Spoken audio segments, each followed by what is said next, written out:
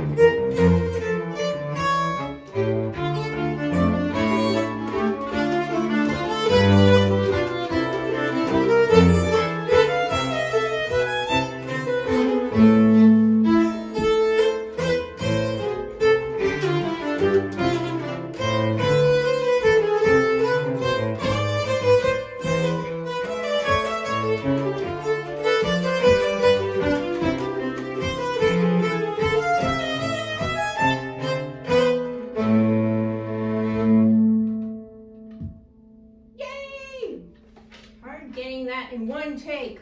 Well done, ladies. Ciao for now, guys.